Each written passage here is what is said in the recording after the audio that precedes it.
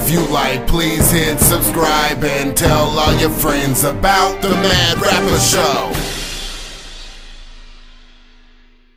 Thank you for tuning in to the Madd Rapper Show. I'm your host, the Madd Rapper, and on today's show, we're going to be talking about racism and fraternities. Now, it's, it's, it's sweeping the news waves right now. Everybody knows about it. Uh, the fraternity SAE at OU singing a racist chant on a bus. And basically, what they said was hang those niggers from a tree. They can't join SAE. they said they said they never gonna be a nigger at SAE. Alright. So SAE is a, a no-fly zone for niggers, I guess. Now a lot of people are happy that the, the president of the college basically expelled their ass and you know and wiped their hands free of this fraternity. Um, here's the issue I have with this. Like I lived in Oklahoma for the better part of my life. So like even if I didn't see that video, I assume shit like that happens all the time anyway. If you are in Oklahoma and you assume that racism ain't nowhere, you fucking hide in a motherfucker then. Because yeah, it's everywhere. So I assume shit like this was happening anyway. And I assume it's been happening for a long, long time. Probably since the when they first made that fraternity up. So the people saying, oh, it's just some rich, preppy kids and they just getting out of line. There's always a few knuckleheads that, no, motherfucker, tradition. This is tradition. This is a fraternity.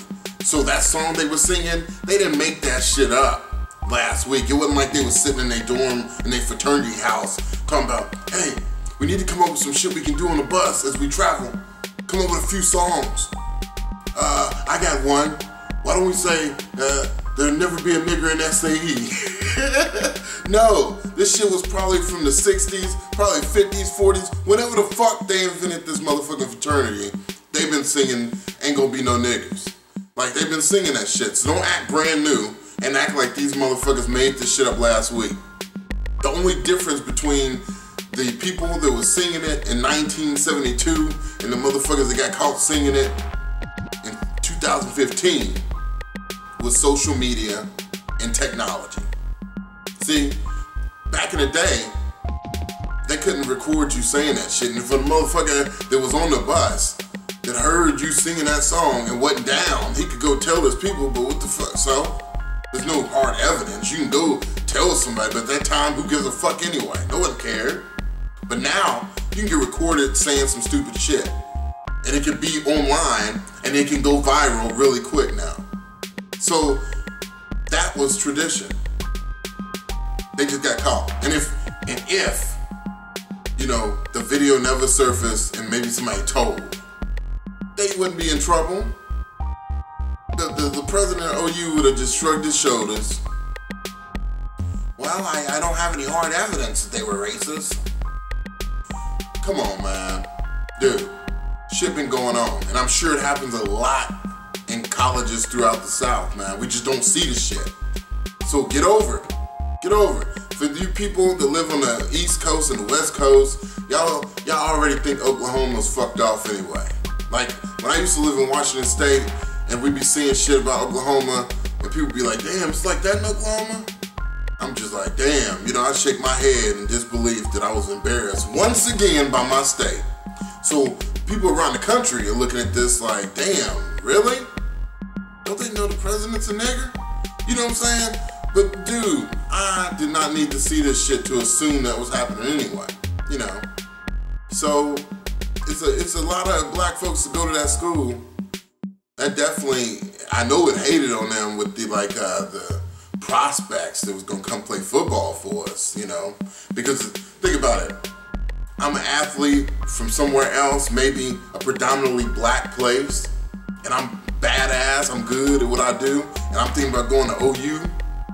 You know what I'm saying? And then and then I see this shit, and, and I ain't never heard nigga even say it to my face or with my ears without an A at the end of that shit. And I'm watching a video where these white people at this college You know what I'm saying? And in my neighborhood, the only white person I see is the dude that owned the, the corner store, the liquor store or something. You know what I'm saying? And I'm hearing this motherfucker say some shit and just dropping ERs everywhere. I wouldn't go to the school. I'd be like, fuck that shit. I ain't going to that school. That's racist. That's racist. So I had to make this video because I just wanted to share, you know, with my fans how I felt about it because I know it was coming. I was gonna get emails saying, "Ain't you in Oklahoma? What do you think about this?" It, it ain't no big deal, man. It, even if a video never surfaced, I would have still thought SAE was racist as fuck. You know what I'm saying? And that's just because I know where I'm at. So you guys open y'all's eyes, quit tripping. You know, technology is helping us put a face on racism now. Because back in the day, it used to be out where motherfucker look at you in your face. You know, I go knock at the fraternity door and they open the door, like, what do you want, boy? And I'm like, hey, I want a pledge. It's like, don't you know ain't no nigga gonna be in SAE? But then now as time progressed and we got rights, you know what I'm saying? it was shunned, you know, looked down upon to be racist like that. So it's been undercover. Let's let's get on this bus with our friends and sing this racist chant. and then in the next season, let's cheer for all the black people on the team to help us, you know, win and shit. Come on, get the fuck out of here with that. So technology is definitely helping people to see the true face of racism in 2015 and beyond, and I'm very happy about that. Now, whether you agree with me or don't, comment below and let me know. This is the Madd Rapper, and I'm out. I'm the mad rapper, I speak the truth, I let it flow. If you got an opinion, comment below and let me know. If you like, please hit subscribe and tell all your friends about the Madd Rapper Show.